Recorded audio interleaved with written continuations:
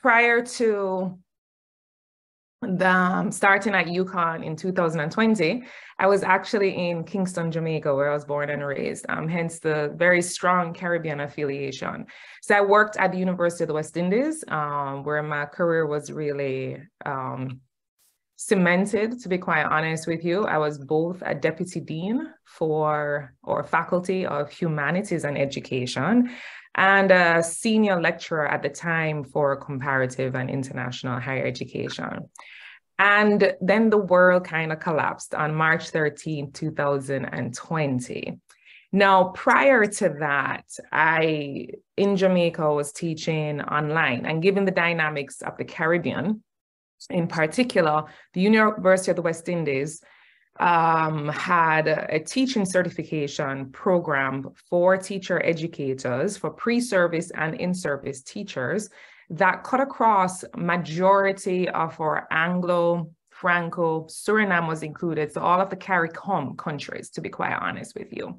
So I had the privilege to teach students every single year on a digital format before it was a thing. so, and I taught them in research methods of all courses, right? So try teaching 103, 100 plus students um, in an online digital format, um, spanning different time zones, spanning different cultural contexts in particular absolutely one of the best times and exciting. I name that because the dynamics of doing um, inclusive work and inclusion work, it requires some of the key similar principles, and that's what I'm going to go over today. That irrespective of what course content you teach, where in the world you teach it, there are some guiding grounded principles around inclusion. And I will target, of course, specific to the context, which is going to be within the classroom. And in this case, within the higher education classroom. So the assumption is that these are undergrad all the way to grad students that can benefit. I always center students in my discourse.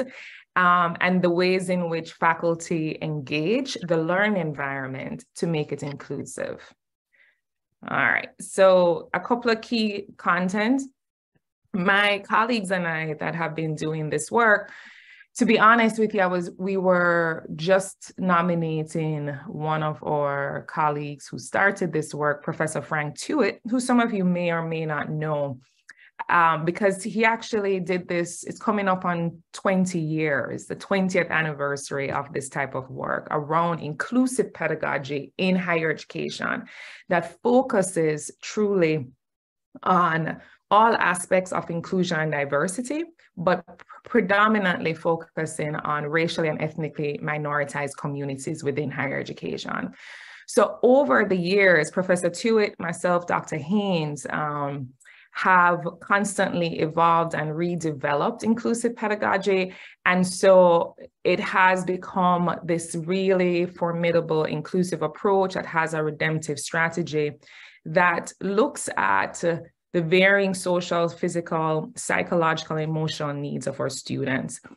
And we address this from a systemic level. We always address it as well from the focus of the unit of analysis being the core student but how are they experiencing the learning environment, right?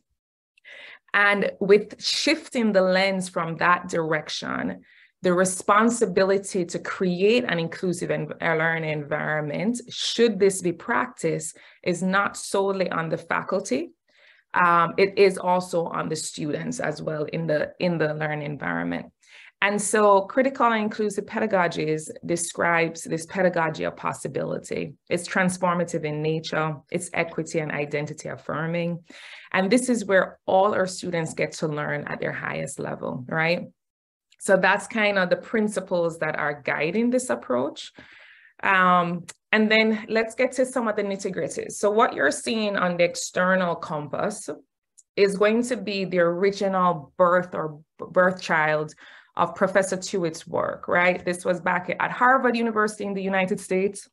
And this was, uh, you know, as I said, 20 years ago.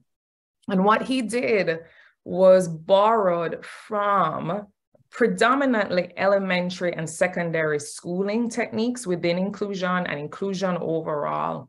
and brought together this amalgamation of different concepts that would look to change um, the environment to be more inclusive. And there are five different key principles the faculty student interaction, what that dynamic really looks like, the sharing power, which I've often found across the globe is really difficult to do, especially for professors in the classroom who stand in front the assumption that they hold all the knowledge, we disrupt that in our principles of work. We actually argue that our students come in with significant amount of knowledge. And when they are allowed to, they co-construct the learning environment. They help to shape the assessments. They help to shape the syllabus. We also talk about the fact that within borrowing from the sharing power, or students can challenge us. Are we that removed from understanding what it was to be like a student that we fear to be challenged in the discourse, right? After all, academia is all about being constantly critiqued, constructively so, hopefully, in order for our work to be robust and rigorous. So within the classroom space, we invite our students to challenge our epistemologies or ways of knowing. How do we know what we know? And that interaction is highly respectful, but absolutely challenging. It requires of us to come to the classroom space, identifying the persons in the room as equal co-constructors of knowledge, right? The last two are tools and they anchor on what we know as various forms of research methods. And I'll give you examples. So one is the activation of student voice. This is where we do ask our students to really know how and when to utilize their voice for transformative change and activism, right? And we use their personal narratives in order to engage in this work. So oftentimes, for those of you in the space who know about um, aspects of critical race theory, would understand this word called counter narratives and how the counter narrative story is one of those key principles of sharing that critical race theory, we, we are pushing against what is the normative or what has been subjected in the scholarship as, as knowledge, right? And so counter narratives often require that we ask our students to write themselves within the analytical reflections, right? And they have a better core understanding of what they're reading, the jargon in academic versions of English or academic languages and literatures. When I came into the work, I actually added in the center of this work critical consciousness, because I asked Professor Tuitt, for whom and for what, why are we doing this? If it's not for change, for activation of some social agent of change, then why are we doing this, right? Why are we creating these inclusive learning environments? So I was fortunate enough to develop a couple of scales that I tested in the Caribbean across these five principles with various indicators to look at whether or not were they measuring different ranges of critical consciousness and since then have developed the work. And we came out with a secondary version of this work in 2016 and that's that book actually right behind me um, which was professor Tuitt's take on or take on uh, I inclusive pedagogy 2.0 and so it built on those five core principles but added what we were doing in the classroom as the needs of our students changed. So that's really important. Who is in front of us matters, not who we wrote for 20 years ago. So we're constantly looking at our inclusive practices because inclusion has changed. The word diversity has changed, right? And so we recognize that to be static in the space actually is very exclusive. So we had to revamp, we had to adapt. And in that, we developed these core areas, building from the first five. So there was intentional praxis, the voice and lived experiences, again, are core. And some of you will know this from the various literatures on epistemic violence, the ways in which knowledge um, in the global south or of the global south and their populations and communities are rendered on the peripheries of knowing, right? What we're saying is, uh-uh, they need to be in the center of knowing. And this, by the way, is irrespective of um, the discipline we have inter interdisciplinary diverse content. Um, there is this assumption of the anti-oppressionist equity mindedness. We develop these environments that identity affirming and socially just so that when a student walks into a space, they know that they belong to that space, right? Oftentimes, higher education has become a very exclusionary space and we've done a good job, I think, and I say that very sarcastically, within the educational sectors across the globe, um, in which education is sometimes threatening for students and hostile and harmful. And so when we are bridging those gaps, it's oftentimes the spaces that they are occupying where they don't feel like they belong in those um, institutions. To do this work, absolutely requires what we call courageous transparency and a resilient emotional labor of love.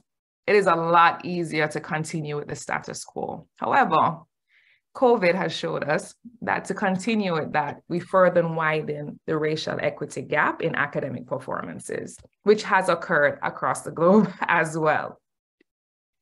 All right, just a couple more slides and I promise you and I have a couple of questions for you to think about, especially as you think through um, the faculty members who might be in the space, right? So we went through the 2016 version of critical and inclusive pedagogy. And these are some of the questions that we typically will ask our faculty and or their students, to be quite honest with you, because we uh, you know, we center the students in the learning process and in the development process. So the questions are, what influence does the faculty member's critical consciousness have on their faculty behavior? Now that's making a huge leap and assumption that a faculty member understands their own critical consciousness, right? That they have done the self work in order to be able to articulate what that is. Um, how well does faculty behavior so what they do align with each of these core principles. And then we normally throw out if there's examples of these behaviors that either disrupt or reinscribe inequitable structures within the within the classroom space. So if you do an audit of a syllabus, are you seeing um, knowledge and are you seeing readings that reflect a diverse community within the environment, right? Are you seeing assessments? Are you seeing the ways in which the, the content is um, going, to, going to make a more inclusive learning environment space? It is not easy work. It does require a, um, seeking out additional information and also working with colleagues such as this group to figure out how to do that work. So as you can imagine, we were doing this work um, prior to COVID and then COVID hit and the classroom dynamics changed. And the questions that we often get when we are presenting this type of work around the globe is two questions. One, can this work be actually done in STEM classrooms? And two, can the work be done digitally online? So we have seen across the board, um, I teach a lot of quantitative based courses and I teach those online often or was grounded in doing that when I was in the Caribbean. And the outcomes about using this type of pedagogical practice, right? Now, remember, faculty members they are hired and they're hired as experts in their field. They're not hired to teach. So the assumption is that a faculty member knows how to teach. That I always tell students on the first day of class, please dispel that whole myth. That is not true. they did not receive their PhD in teaching often. They received their PhD in a particular discipline and they are they are experts in that discipline. They're not necessarily experts in the art of pedagogy, right? So I do often tell students that please dispel that myth. Let's try and work and figure out how to how to understand that at its core. Um, and then once that has happened, we do go through some of the things to look for. So often a faculty member should have a teaching philosophy, something that grounds the ways in which they approach the classroom space. They approach their advisees, even if they're not in the classroom space and they are conducting research with, with students, anything to do with students, they should understand for whom and for what am I approaching this space with, right? And that's their philosophy, um, their pedagogical philosophy. So some of the benefits are academic diversity and civic. And we've absolutely seen the academic space, more levels of self-confidence, critical thinking, problem solving abilities, the ability to reason more critically. Uh, the students uh, feel more included. There's more cultural awareness. Um, there's levels of fostering creativity within the academic space as well. And then the civic outcomes is the parts of engagement. My students often said to me over the past dozen years is that, you know, I've developed these scholar activists or practitioner activists, and they don't know what to do with that now. So how do they engage with that type of activism? So those are some of the benefits we've been able to track over the past um, number of years. And these are just some of the spaces that we have been able to write or work in or that I have been able to publish in um, on inclusion. And that's all I have for you this morning. Besides, you know, tons of answers to questions, right? Thank you very much, uh, Saran. That was a, a, very, very rich uh, speech. I don't even know what's first to to take out to to further uh, build on. Um, there are so many principles and so many um, ideas and there's so much research being done that uh, I can only in, indeed advise people to go and read a book and and, and start more uh, discussing these topics. But maybe one of the things to, to take out, what I really liked is um, that uh, teachers will reflect on their own teaching constantly because it's not because you figured it out 20 years ago that it's still the same today. As we all know, society is changing uh, um, gradually, but then there are, of course, things like COVID happening where you have more uh, a shock or an interruptive uh, development and just being very attentive as, as a teacher and constantly um, checking yourself and checking where you're at, that that's a that would be a, a, good start maybe. So I'll just leave it for there at there, and then we will uh, go on to uh, the next speaker who, um, well, the next speaker was going to speak on the digital uh, aspects because we wanted to counterbalance and look at it from, from the two angles. Unfortunately, this morning, our uh, speaker on the digital had to cancel due to um, very sad personal uh, reasons. Uh, so he, he, will not be with us today. He shared some of his main messages with us. So I will just go over the messages. In no way I am a digital expert, but I will try to convey so we have some of his uh, ideas that we can take with us in the, uh, in the conversation.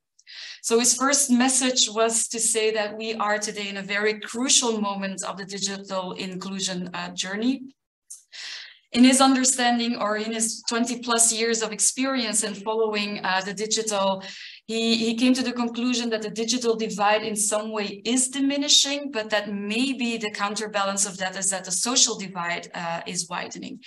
Um, and that there are some disruptive digital uh, developments. As we all know, it's a very hot topic. The chat GPT is now one of the things that are, are discussed uh, very much.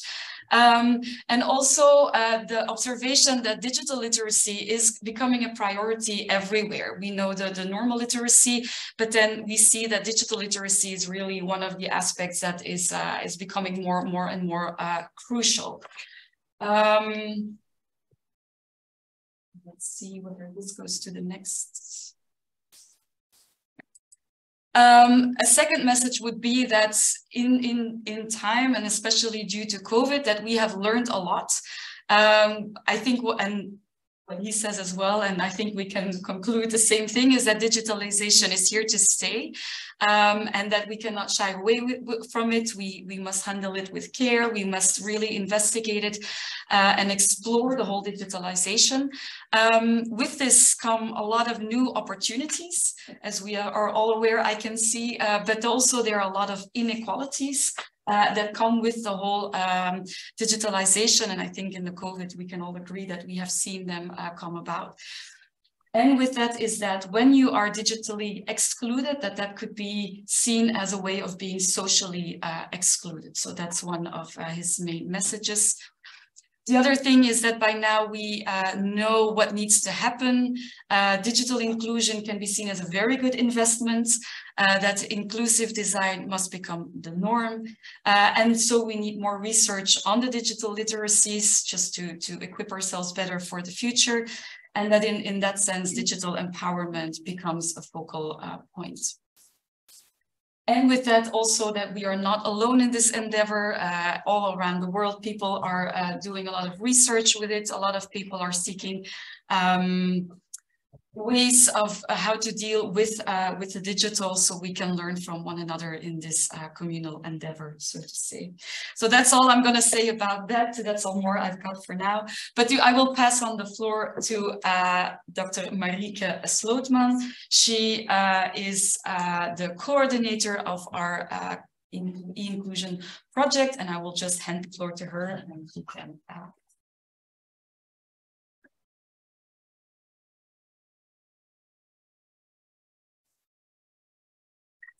Yes, please, my presentation. You felt uh, yourself was I think. Yeah. Hello, everybody. I'm trying to find between all these fancy screens in this room to see where my where I can see where I can actually look at you, audience. I see myself there, but I also see you there. Um, my name is Marieke Slootman. I'm the project leader of the e-inclusion project and working at uh, currently working at uh, VU University and at in Holland. Um, I have to say that with the previous speaker, you were actually uh, explaining, uh, um, Katia, was Fabio Lanscambini. Did I say it right? And I also have to say that, uh, sorry, uh, Serena, uh, I think I disturbed you with recording exactly at the moment when you started speaking. Uh, we wanted to record the plenary part of this uh, of this conference. We will not uh, um, record the, the, second part of the day because we want the participants to contribute, participate, and feel safe to share personal experiences. So um, we want to uh, to record the, the, plenary session, but don't be afraid when we ask you to participate or you can share your experiences. Will we not record the uh, the input of the audience? Um, anything more I want to say? Mm. My colleagues, no.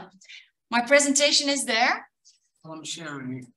It's going to be shared to you too. Oh, I didn't give it on. Ik weet niet No worries.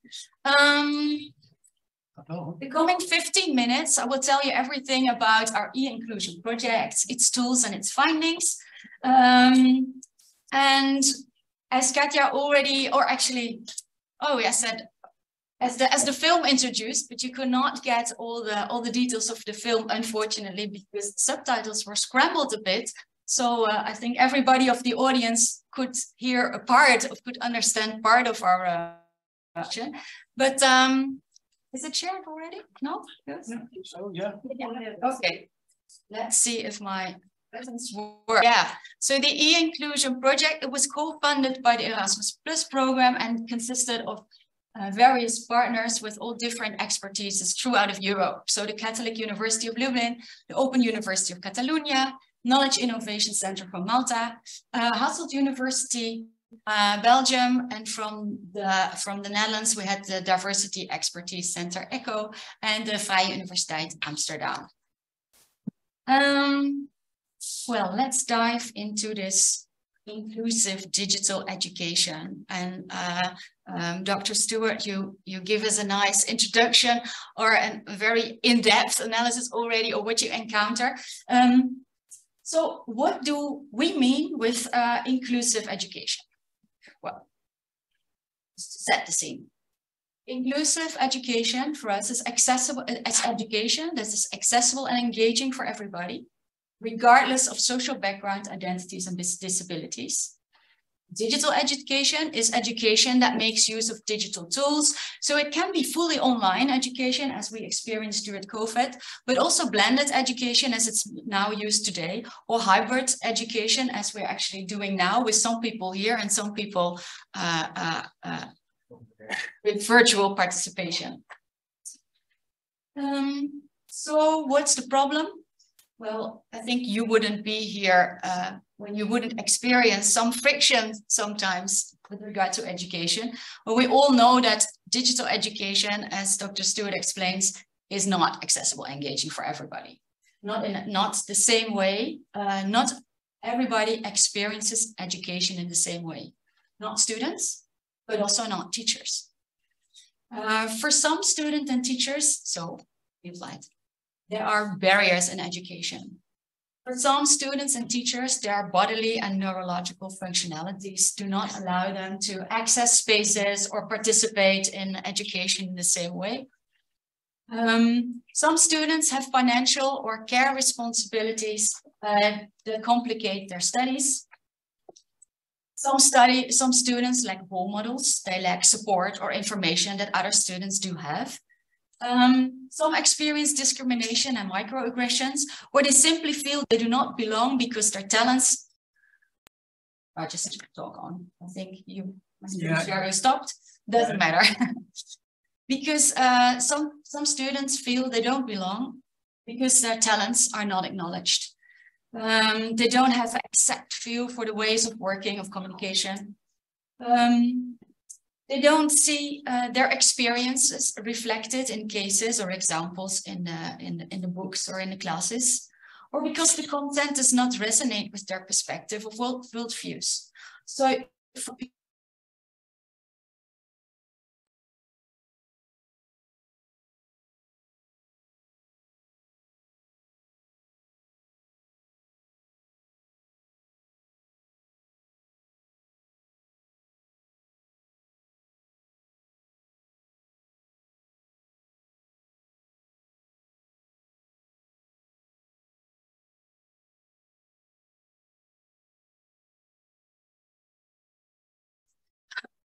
En nu?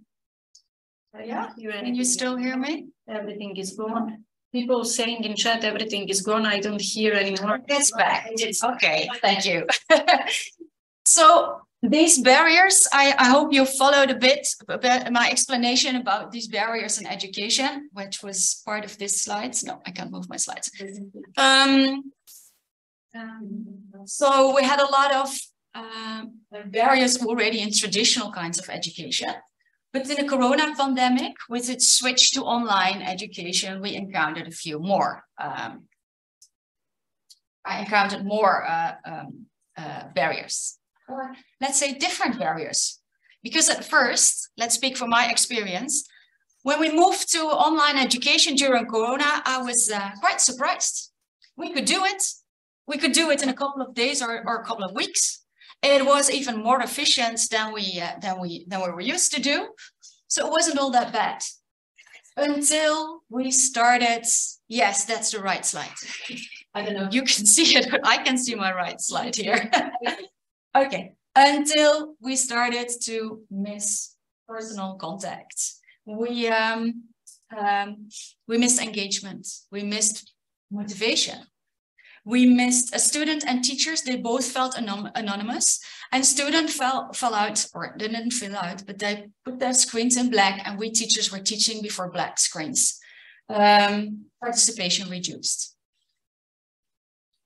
At the same time, open universities actually have always uh, or, or, for years have, have used this online teaching to actually uh, create inclusive education open for everybody uh, and to um, and to also make it engaging.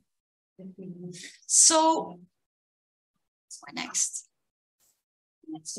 But this teaches us that our COVID experience, first of all, are not representative for online teaching. It was representative for emergency remote teaching, replacing our uh, traditional education into virtual contact. That doesn't work. So what we need is purposeful educational design, uh, which makes intentional use of digital tools for inclusion. And that requires that teachers, uh, that teachers are uh, aware of the opportunities and risks that the use of technology brings for inclusion and exclusion. So that's what we did in our project. Um, digital education needs to be inclusive by design, and you need certain knowledge for that. And we used, uh, we built on the famous TPACK model, and we say that to design inclusive digital education, you need four interrelated knowledges. One, content, knowledge about the content, knowledge about the pedagogical aspects of teaching. Third, knowledge about technology, that's TPACK. But we also say to build inclusive digital teaching, we need more knowledge. We need knowledge of how content, technology, and pedagogy affects inclusion and actually or shapes inclusion and exclusion for students and teachers. So we advocate to add another layer of knowledge, inclusion, equity knowledge. And in the inclusion project, we have compiled and developed this inclusion knowledge. For example, it's important to understand how the use of digital tools in education shapes inclusion. It's provides or it it, it rises uh, new uh, it gives new challenges but also specific opportunities. First of all on the challenge side in digital education as we all have experienced it's pretty hard. You need to do much more conscious effort to build social presence to establish social presence to get to know each other and establish a safe learning and inclusive learning atmosphere. Secondly we have digital barriers, with additional barriers. Uh, so for students and teachers who are less secure or have less, less knowledge about technology, uh, it's not easy to participate and to actually create uh, um, a high quality education. Um, but also for those with uh, bad techno technological equipment or bad internet net connections, it's harder to participate and thrive.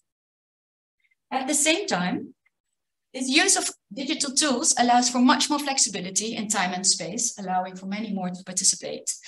Um, it allows for endless diversification in formats, uh, like um, where are my notes? Here, text, video, uh, audio, uh, different languages, use of subtitles, and diversification is an important uh, principle to design inclusive uh, uh, education. It's called universal design for learning.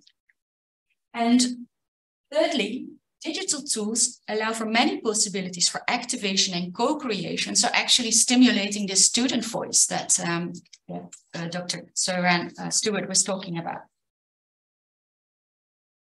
So based on this compiled uh, inclusion knowledge in relation to pedagogy, content, and technology, we have formulated several guidelines uh, on how to make teaching more inclusive we directed it at teachers, but it's also uh, very important for knowledge for institutions and, and those who uh, support teaching uh, uh, and education. I want to say one thing, it's not a checklist. So uh, creating inclusive education is not about doing stuff and then you achieved it. It's a practice, a practice that you need to uh, to shape every day. And you do so in interaction with your students, with the content, and with your mood at the moment, and also with you as a person, because teachers are not distant, neutral people. They're uh, actually persons with positionalities. We position these guidelines within this pedagogical triangle of teacher, student, and content. And the first guideline is for the teacher to develop awareness about your own uh, biases and assumptions and how this affects your digital inclusive teaching. Secondly, we uh, argue that teachers need to get know, to know the students and their previous knowledge, their stances, their needs, including their digital competences needs. Thirdly, we advocate to diversify teaching practices uh, seizing the many opportunities that technology, technology offers. Fourth is to diversify content, also using these online possibilities to find resources out, resources out this, this, this common, uh, uh, this mainstream canon in terms of region, language, formats. Um, And it enables the students to be co-creators of the course and also come with content that you as a teacher would never thought about. Fifth, we have six, so I'm nearly there. Um, the fifth is to create an inclusive digital learning climate with student engagement, uh, with inclusive language and images, and with purposeful approaches to establish this social, uh, this, this social presence so everybody feels safe. And there is uh, room for every uh, student for their voices. And uh, as mentioned before, no, this is quite a bit. You cannot do this alone. Well, you can, but it's quite tiring and quite uh, uh, limited. So collaborate. Find colleagues that you can share uh, your, your ideas, maybe your, your, your needs and frustrations.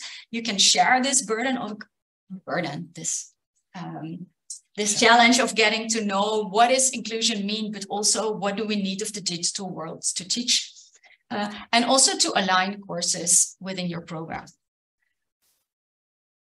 This brings me to the last two slides. Um, this is this knowledge we developed is made accessible in several ways. For those who like to read, there must be some in the audience. we have a handbook. Uh, we also developed e-learning modules for those who want to read smaller bits of text, uh, watch uh, watch videos. Uh, we compiled a whole set uh, and um, uh, be triggered by some, some learning activities for yourself. So this is actually for teachers who want to, to explore um, uh, um, yeah, on hand, no, that's not English, to explore and to learn how to make their teaching more inclusive. Uh, we are working on an awareness raising tool and we developed an e-inclusion course that we piloted last autumn at the University of Catalonia uh, and, the, and the course design will be open access, uh, accessible on the website soon for those uh, institutions who actually want to uh, prepare a course for their teachers or to be teachers, future teachers, uh, on how to, uh, to give inclusive digital education. Um, my last slide contains an impression of how the guidelines are detailed in the handbook and the e-learning modules that I mean, this is quite a high level of explanation, uh, but we work them out with all kinds of tips that you can try to uh, to mold into your own courses or help your colleagues with and start trying tomorrow. Uh, and you're very welcome to visit them uh, on the website. I want to thank you for your attention. I think we go to the panel now. Katja? Sharing. Stop sharing, please. Thank you, Marieke. okay.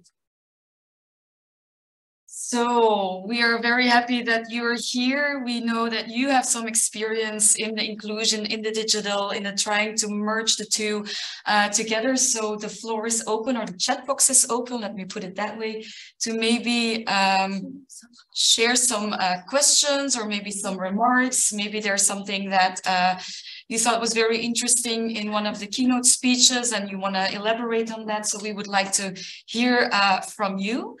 Um, so please share your thoughts in the in the chat and we can uh, pick up your question and maybe address them to Marieke or Saran or someone else from our uh, team.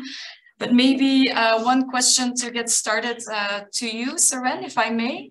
Um, so you, you, your expertise is mainly uh, the, the inclusion aspect. Uh, you've done a lot of research on it, uh, but of course, as you mentioned, you you taught a lot in the in the digital environment as well. So just from your point of view, um, what would be the biggest challenge, or maybe the biggest opportunity when you look at the digital uh, to advance uh, inclusion, or what could be the biggest barrier? Maybe uh, elaborate on that if if that's okay for you. Absolutely. So I think one of the biggest challenges from experience um, pre and during COVID and currently right now teaching in these different modalities, you know, it's the engagement piece.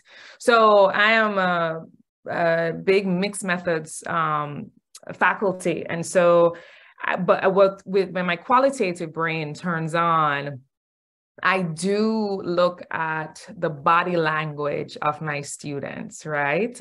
To see what topics are disengaging, what topics are really engaging, where are they in that space? And that is hard to do in a in an e environment right? It is hard. It takes a lot of different um, tips and tricks to break up the monotony of a course. And i typically taught three hour courses. So that's not easy on an e environment so what i would do is when i have a large class anything over 75 students that's going to be on an e environment, I would absolutely have TAs, so teaching assistants, in the room with me. Um, that would be on the platform. I would engage, you know, I plan all my lessons. I have something that's called a facilitation guideline mapping sheet for each segment of my lesson. And I know from learning sciences, so the discipline of the science of learning, when a student typically, you know, hmm, gets distracted and tunes out. So I'm constantly mapping out my lessons and then doing small group interaction, as well as creating different lessons using various platforms. So I'm seeing what they're writing, when they're writing, we're having all group discussions, stuff like that. So it's not just me talking in a screen. The students have to talk back at me. so I'm constantly having these learning checks, right? That but I'm developing these mapping tools in order to be like, okay, I'm teaching you this. And then I want you to go into your small group to see what you actually learned. And then I want you to write out what you learned or type out what you learned. And then we're going to talk about what we learned so that when we know that we're in a space together, I would have tapped into each of my students' learning styles by having a variety mixed into the classroom. So I'm taking that and then moving it into an online platform. So I would say that's one huge challenge is engagement and keeping them engaged. The other piece with inclusion, though, which I didn't touch on, is when we get to hot moments in our classroom space. Those are those hot moments that it's hard to do in an online space because you might have to stop the classroom. You have to stop the learning because learning stopped happening. During hot moment times are when there is something that has occurred in the classroom space. Someone has said something. We've we've come across a triggering um, reading or topic area. We've presented a data that is representative of a person's communities and lived experiences, but now it's on a screen and it's hurtful, right? So when that happens, it's important to check in with your students. And again, having those smaller breakout room classes, right? Um, doing those different types of check-ins gets you to see where there might be hot moments, but not all the time. so being somewhat, I won't say I'm fully seasoned, but doing this for over a decade, I do understand which topic areas might be that hot moment and bring it in. So I hold space for those times to happen. That's not always easy for someone who may not necessarily be aware, critically self aware of where their students are coming from, what the context is, and the content and how it can be um, disruptive to their learning, right? And so it's important to constantly have those check ins. I think the opportunities that come from e learning is having these ver- variations of what I would consider um, these digital archives to present represent to the students to save their learning right so i do an activity that's called chalk talks in my class it lets me know who's reading in my class as well without without like signaling in any of the students. Chalk talks is where i give time for a student to select their favorite quotations from the readings. And they select them based on whether or not they disagree completely they think it's garbage or whether or not they're like you know what? This was my favorite quote and this is why. On the e platform i allow them to also do that um, um, using some of the Google um, software tools. And I'm able to save it and then they can map with each other and it becomes really interactive. I use Jamboard in, on Google for that. when I'm face to face, I lose some of that information because I have them do post-its and stickers, and you know that's a lot of paper. So please throw that away. Um, but on Jamboard, it's an archive, so I'm able to reuse that with other classes as exemplaries to have the students learn um, and learn from their cohorts before, and it helps with my pedagogy. What worked? What didn't work? what do I need to change for the next cohort? So, it's a, so the digital environment provides us with a digital pedagogical archive for us as faculty to be like, you know what, this didn't work well with the students. I need to change this. I need to re-look at engaging with them. So there are different ways um, that I think there's opportunities, absolutely, but there are other challenges that we need to be able to anticipate um, from a pedagogical standpoint. I hope that helps. Thank you very much. I see there are some questions uh, addressed to you as well, uh, Saran. I'll just uh, read one question.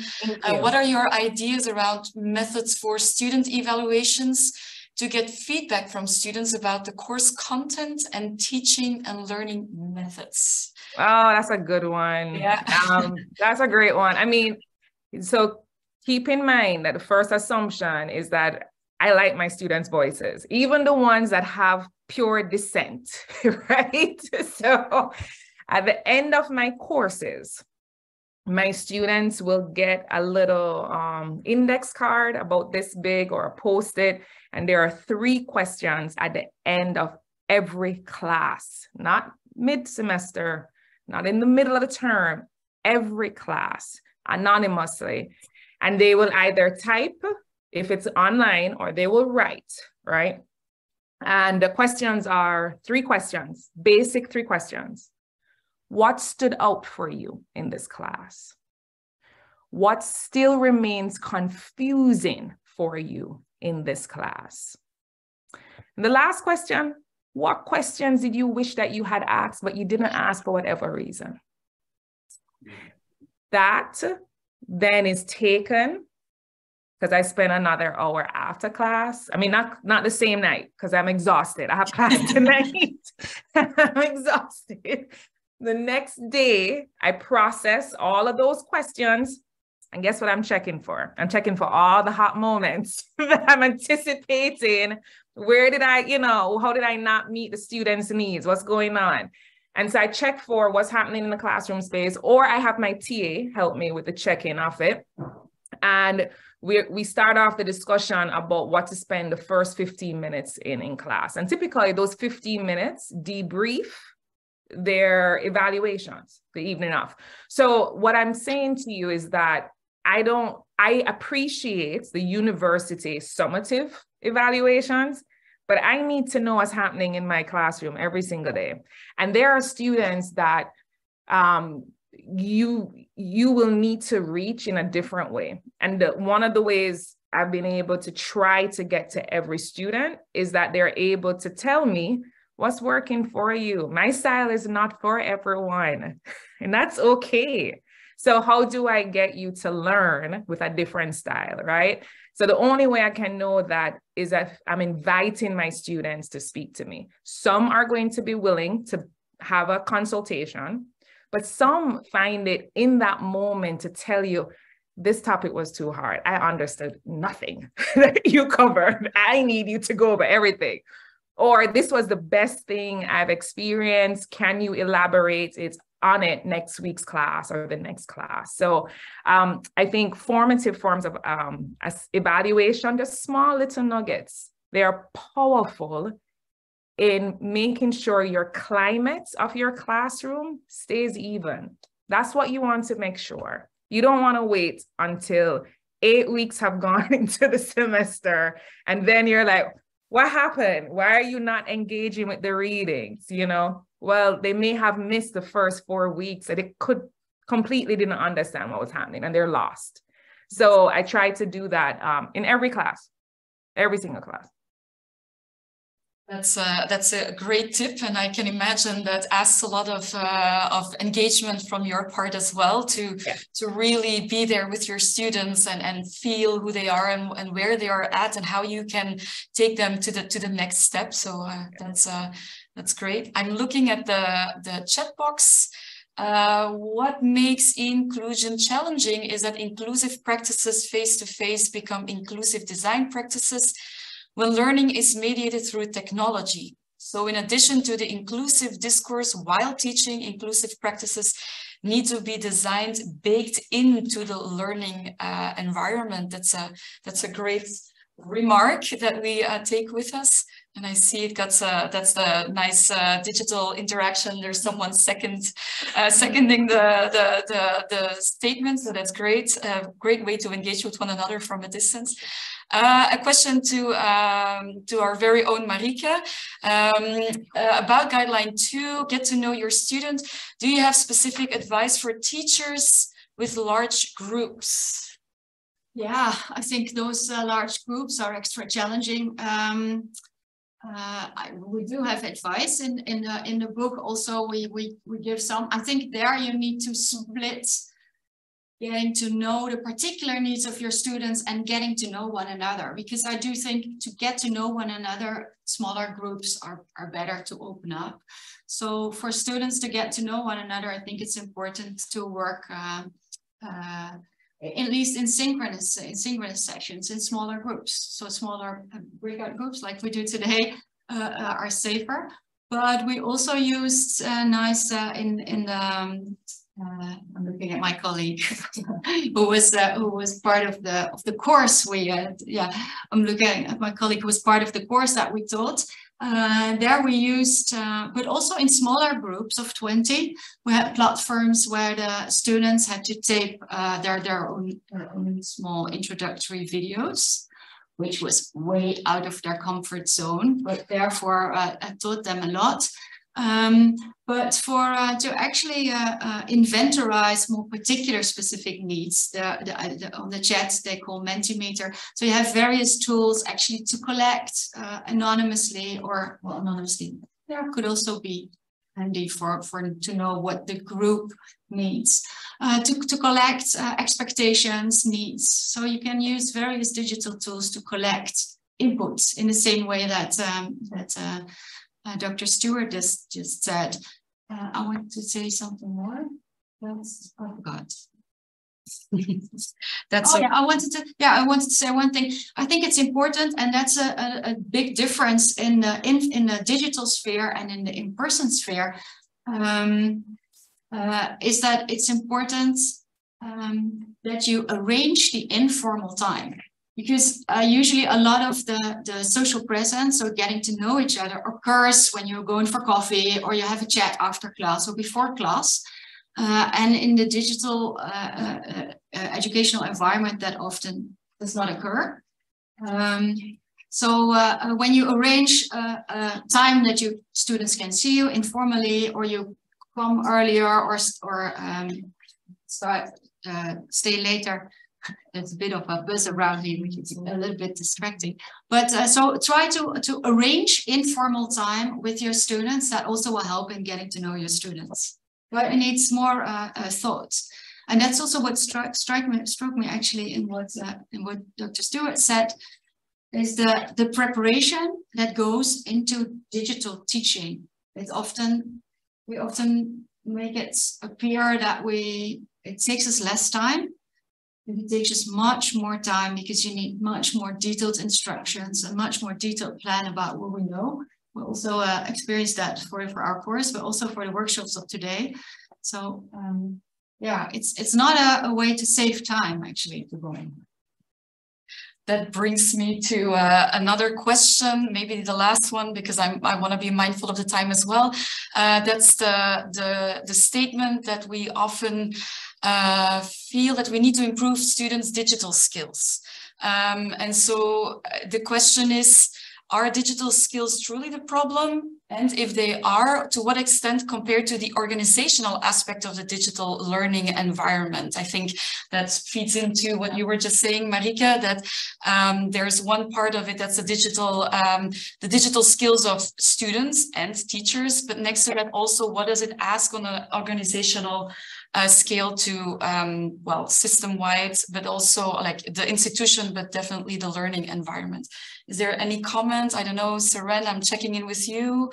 Any comments on that? Or reframe the question because I was trying to find it just so. yeah so it's about uh, is it uh, is the digital skills is that is that merely the problem or should we more be concerned about the organization of the digital learning environment yeah you know I always take it back to the learning environment I'll be honest no I say that knowing that again I, I, can't reiterate it my I have four different degrees, right? And I've become specialized in a couple of different areas. Thankfully, one of those degrees was in education, right? And around pedagogy. Otherwise, we're not trained to teach this. A chemist is not trained to teach chemistry. A chemist is trained to, and, and I know this because my sister-in-law is an inorganic chemist, and she's hilarious, right? When she sees all the things that I'm doing with her classes, she's like, I wasn't I didn't, I worked in chemistry because I didn't want to work with humans. so, you know, and it's it's hilarious because it's true. So what that means is that yes, for us in front of the classroom, it is incumbent on us to tool up, to skill up ourselves on the various things. And not not don't not to get overwhelmed though but to really understand what are some key tools, and I love how this is being presented, right? And skills that I can utilize in order to do what I do best with regards to learning. So understanding those pieces. And then you you work at it, you optimize and you practice. I love Marieke when you said this is not a toolkit, it is not a checkbox. This is praxis it is you have to train you have to set your mind up it's almost like i've been on this health kick pray for me because i missed this morning so i went yesterday to the gym right and you're trying to be stronger right i want to get to lift say 45 pounds in benching right? I can't go tomorrow to my coach and be like, let me lift 35 pounds or you know i think it's 20 kilograms. No i cannot. Um, so you need to train every day to become stronger. The art of teaching is very similar to that. You have big you have, have to train to do this. I was going to show you a photo for some of my visual learners that might appreciate this just a little bit. So I promise, Katya, I won't take too much time on this. Don't worry, don't worry, go ahead. but this is one of our Jamboard that I was trying to explain, right? Each of these post-its is essentially another student or group of other students. And the ways in which I, you know, broke out the piece was it was originally they have four myths. And this is about their reading, right? And I'm asking them to, you know, deconstruct the myth. I'm all about the myth of what we're reading, right? Because remember, I go into this thing of no, no, no, not because it's written or published doesn't mean it's true. you need to argue these myths, right? So they're deconstructing this learning and we're practicing. So you see all the highs. None of my students love Jamboard. In fact, they said, I don't like it, Dr. Stewart, right? So I said, okay, no problem. So we started doing some small little high fives. So I just had them type out little things just to, you know, dispel some of their jitters around doing this. Then as they start to get into it, I started to show them, hey, smiley face. Now I want you that you've already put in your myths. I do want you to know, connect with your classmate, see what they wrote. Do you agree or disagree? Draw arrows draw little icons that make you think that, you know, this makes sense, right? So you see a little bit of the LOLs, a little LOL, It's just a wannabe smiley face in the middle. And you see a ton of different um, arrows. The exclamation points are where they were like, oh my gosh, this is amazing. Yes, I agree, right? So we were talking about like, you know, student debt and um, the high rises in student debt. And they were pulling out salient quotes. We are a middle class nation. Who is we? So much erasure in this statement. So they were engaging, and I have them do this individually because they're all on their own computers, silently as well. Because there's a process of learning that happens with different different modes, right, and modalities. But when they just started, they were not happy with me you know, hence why, oh, hi, hello, hi, you know. So I name that because, or we should not assume that our students are going to want this. That's our, that's a fallacy. Students don't want this, not often at least. But how do you engage with them in the process? Break down the jitters so they don't feel more embarrassed. And then you start to say, hey, can you highlight this? Can you read your other classmates? Bridge connections, right? So they do some individual learning, then they went back into group learning, then they saw all the richness of the data coming through. And it is data points, right? So I use that as an example because you, you should try to develop a couple of core skills and then you need to strengthen them. You need to work on them finesse them learn more and then and then figure out how am i engaging with them. Don't throw a whole bunch of tricks into the pot. It will become very overwhelming. But how can we engage little tweaks in it start small and then develop? So i love the fact that this project provides you with a number of tools and skill sets to do exactly that and then you bring it with your students one by one. Let's start small and then let's um, amp up the digital platform. So that's uh, great, Saran. Thank you very much because that opens the door to the introduction of our uh, uh, workshops that we have created for uh, this afternoon.